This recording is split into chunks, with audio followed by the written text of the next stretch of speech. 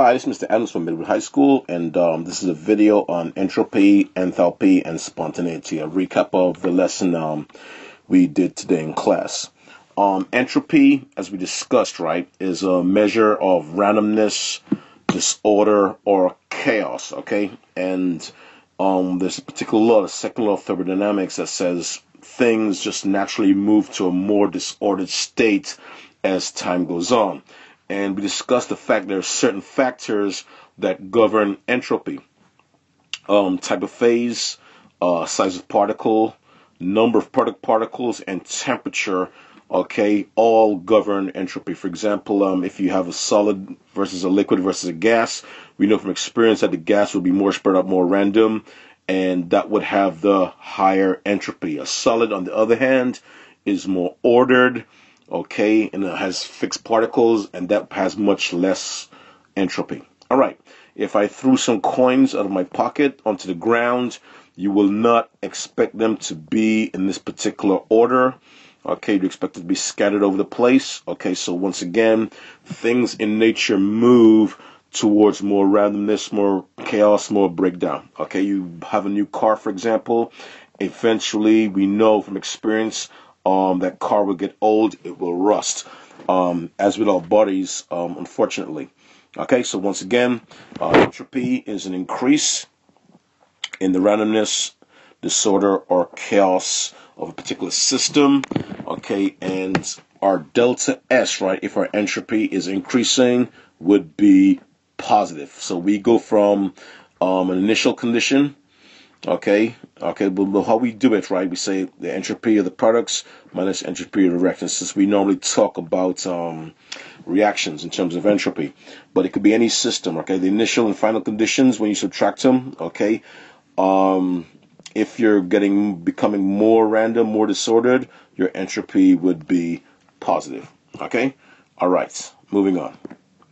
Um, enthalpy, we talked about enthalpy, change in enthalpy is just simply delta H, okay, and it's simply, once again, the heat of the products minus the heat of the reactants, and we should be experts with this right now. And this particular graph in the bottom here is a parent graph, products above the reactants, the products are above the reactants, right? Okay, so we know it's going to be endo endothermic, right?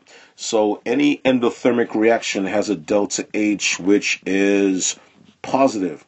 On the other hand, we have on this other graph in the top right corner, we have where delta H will be negative because we know that's a Purex graph because the products, okay, are under the reactants. All right, so products under reactants, we know it's exothermic. So your parent and Purex graph right there.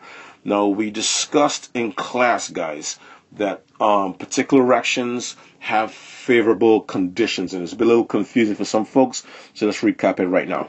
Okay, spontaneity. Now, spontaneity simply um, tells whether a reaction wants to go in a particular direction or not. Okay? Now, without continued outside influence. So, once again, once you start a reaction, you provide some activation energy to it, it will move in that particular direction. Now, once again, as we said in class, spontaneity does not refer to um, how fast a reaction goes or its rate.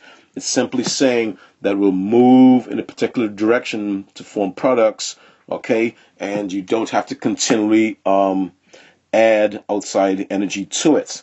All right, so in this Purex graph right here, right, we have our delta H being negative, and that, my um, folks, it will be favorable, okay, favorable for chemical reactions. So if chemical reactions had their choice, okay, they would have low energy. Okay, low energy. Okay, and low energy or release of energy, okay, translates to a negative delta H4. So that's favorable. All right. Also, in terms of um, reactions and favorable conditions, they will have a positive delta S, a positive change in entropy. What does positive change in entropy simply mean? It means that you're becoming more random, more disordered. Okay, so if you go from one situation to the other and your entropy is increasing, that is also favorable for chemical reaction. So low energy, okay, low energy or delta H negative, release of energy, and increasing um, entropy are favorable conditions for a chemical reaction. Now, if you have both favorable conditions, your reaction will be spontaneous, meaning that it will go in the direction of forming products without continued outside influence. And on the flip side of that, if you have a parent reaction, okay, parent as in this diagram to the left right here, all right, your delta H would be positive, and that would be unfavorable. Okay, that's not good for the chemical uh, chemical reaction. It doesn't really want to do that. Okay, if it if it has choice, all right.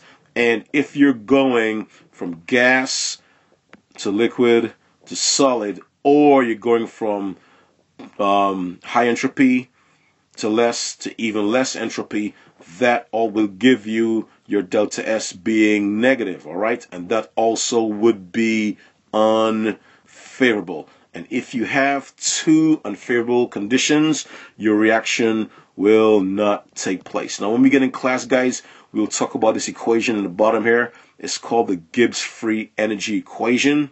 Okay, and it helps us um, determine whether or not a reaction will be spontaneous or not based on actual values. And um, the question was asked in class what happens if we have a mixture of favorable and unfavorable conditions? Because we did favorable and favorable right here, and we did unfavorable, unfavorable, right? But what if it is a mixture of favorable and unfavorable? Um, this equation helps us with that.